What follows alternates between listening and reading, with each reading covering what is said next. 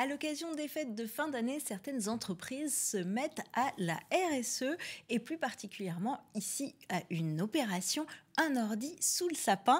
Vous êtes, euh, vous représentez l'entreprise Ecomicro.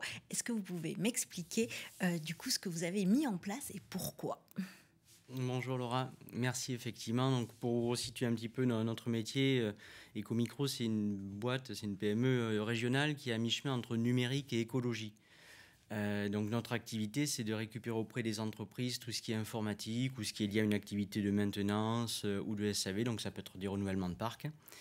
Et du coup, d'apporter une solution soit de gestion recyclage, parce que c'est obsolète et ça marche plus, soit de seconde vie et de reconditionnement. Donc voilà, quelque chose qui est très à la mode en ce moment et on, a nos ateliers qui sont à Saint-Loubès, donc euh, tout près d'ici. Économie circulaire. Absolument, économie circulaire.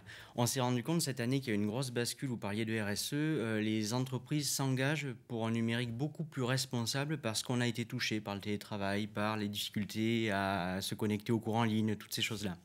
Et donc là, ce sujet RSE, il est parfaitement représenté par euh, cette action Un ordi sous le sapin qui est portée aussi par, Bordeaux Mécène Solidaire, euh, qui s'adresse directement en fait aux entreprises pour financer l'opération et les bénéficiaires qui sont sur le territoire, qui peuvent être des personnes plutôt en situation d'exclusion, qui n'ont pas accès à, l'informatique, au numérique. Et tous les progrès dont on bénéficie au quotidien, mais il y a plein de gens qui n'ont pas accès.